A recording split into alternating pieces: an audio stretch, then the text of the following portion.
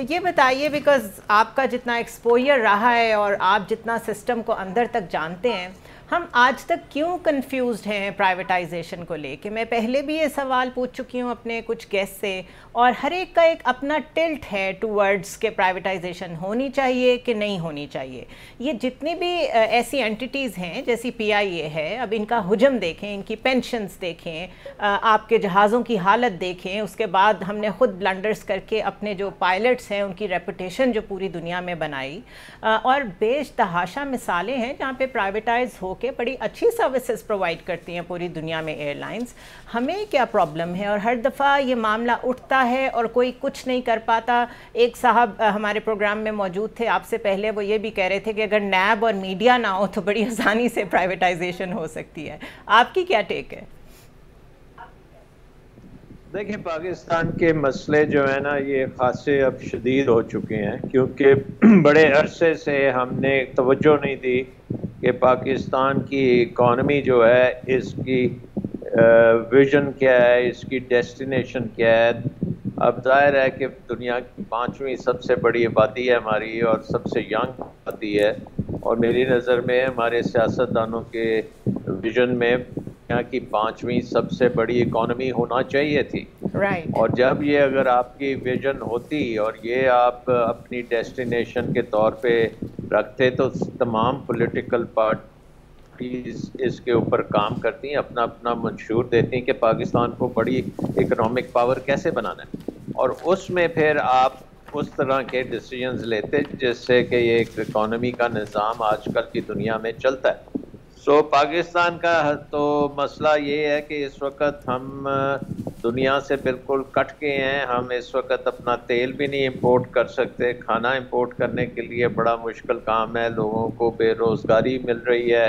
Inflation जो है वो आसमान पे चली गई है। आ, हर तरह से हम एक घिरे हुए हैं। बट मेरे नज़र में ये बेस्ट टाइम है कि अब आप इससे नीचे तो हम नहीं जा सकते। अब हमने ऊपर जाना है लेकिन ऊपर जाने का अगर हमारे पास कोई विजन नहीं होगा तो फिर हम फॉल्टर करते रहेंगे राइट right. सो so, पहली बात तो ये मैं कहूँगा आपके सवाल के जवाब में कि अभी तक हमारे सियासतदानों ने प्राइवेटाइजेशन को सियासत करने का एक टूल समझा हुआ था कि जब वो अपोजिशन में होते हैं वो कहते हैं कि हम कभी नहीं होने देंगे प्राइवेटाइज और जब हुकूमत में आते हैं तो वो करने लगते हैं तो फिर कहते हैं कि जी ये तो प्राइवेटाइज तो नहीं हम करेंगे बट हम इसे ठीक कर देंगे। Right. तो वो ठीक करने में भी फिर वो अपना मौज मेला बनता है और उसके साथ वो काम चलता रहता है।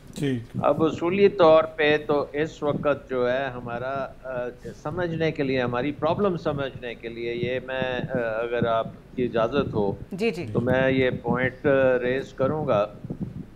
कि देखें सेवेंटीज़ में हमारा कॉन्स्टिट्यूशन बना आ, और उसको तकरीबन पचास साल हो गए हैं और उसकी हमने फिफ्टियथ एक किस्म की एनिवर्सरी भी मनाई है इन 2023 तो पचास साल में इस कॉन्स्टिट्यूशन ने जिसने हमें बहुत ज़्यादा प्रॉस्पेरिटी देनी थी उसने हमें बड़ी मतलब गुर्बत भी दे दी और तबाही दे दी है हम्म।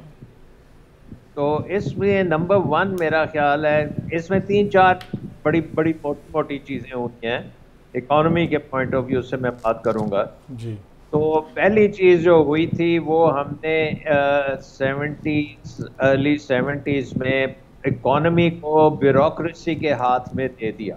हमने नेशनलाइजेशन की, जो थोड़ी बहुत प्राइवेट सेक्टर थी, उसकी तबाही हमने कर दी। और ब्यूरोक्रेट को हमने कंपनीज़ का हेड बना दिया। पीआईए भी ब्यूरोक्रेट्स के हाथ चली गई।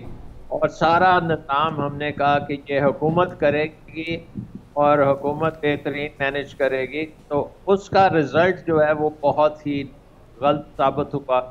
और आज तक हम वो ब्यूरोक्रेसी को पीछे नहीं धकेल सके। ब्यूरोक्रेसी का कंट्रोल जो है वो बढ़ता ही चला गया। सो so, ये मेरे ख्याल में एक नंबर वन पहला ये स्टेप नंबर दो स्टेप जो हमारी इकोनॉमी को जिसने डिस्ट्रॉय किया है वो ये था कि पॉलिटिक्स ने आपस में हमारी जंग जो थी कि हम डैम्स नहीं बनाएँगे। हम्म। क्योंकि एक पॉलिटिकल पार्टी या किसी रीजनल पॉलिटिकल पार्टीज़ ने कहा कि हम मर जाएँगे लेकिन डैम नहीं बनने देंगे। उसका नतीजा क्या हुआ? उसका नतीजा ये हुआ कि हमें जो तकरीबन मुफ़्त बिजली मिलती थी वो मिलनी बंद हो और फिर एक हमारी सियासत ने ये निकाला कि हम अब जाके आईपीपी को लेके आएँगे और तेल से बिजली बनाएँगे और इम्पोर्टेड बिजली हम। तो एक बड़ी सस्ती डोमेस्टिक बिजली को जो पानी से बनती थी उसको हमने कन्वर्ट कर दिया। पेट्रोल डॉलर्स में उसको हमने कॉन्ट्रैक्ट्स कर दिए और उसमें भी कॉन्ट्रैक्ट्स हमने बहुत हैवी किए। बाद में बिजली के निज़ाम को भी हमने मैनेज नहीं किया। उसमें लॉसेस चोरी ये वो होती रही। और एक रीति चोरी का ये भी था कि ये बिजली बड़ी महँगी होती चली गई। हम्म, और अब वक्त आ गया कि वो बिजली अब अफोर्ड नहीं हो सकती। तो ये हमारा दूसरा जो बड़ा महँगा सौदा हमने किया वो ये था। पहला हमने सौदा किया कि ब्यूरोक्रेसी को इकोनॉमी के ऊपर बैठा दिया। दूसरा सौदा हमने ये किया कि डैम्स बंद कर दिए और इम्पोर्टेड बिजली ले आए। ठीक है। और मेरा ख्याल है कि तीसरी चीज़ हमने ये की कि हमारी के एक वैल्यू बनती थी एज अ मर्सनरी हमने दुनिया के हर कॉन्फ्लिक्ट में अपना हिस्सा डाला और उसकी उसकी वजह से हमने अपनी भी बर्बादी तो की लेकिन हाँ, थोड़ी देर के लिए वो काम हमारा चल जाता था। हम्म। और उस उसका नतीजा ये था कि हमने अपने इकोनॉमी को रिफॉर्म नहीं किया। ठीक है। और एक एक बड़ा बड़ा एक लैंडमार्क आया एक एक बड़ा लैंडमार्क आया आपको पता है जब सोवियत यूनियन टूटा। हम्म। और उसके बाद एक पूरी दुनिया में आई मार्केट इकोनॉमी का एक दौर चला ग्लोबलाइजेशन उसमें भी हमने अपने मार्केट को मार्केट इकोनॉमी के मुताबिक नहीं बनाया।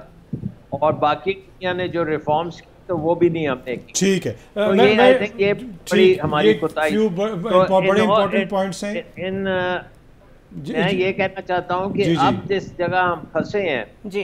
हमें ये सारे प्रॉब्लम्स को रिवर्स करना पड़ेगा। और उसके लिए हमारे पास बड़ी विजन होनी चाहिए जिसमें हम पहले ये डिसाइड करें कि मार्केट इकॉनमी बनाएँगे ब्यूरोक्रेसी को पीछे हटाएँगे प्राइवेटाइज करेंगे कर्जे उतारेंगे और ये सारी चीज़ें एक ठीक है ठीक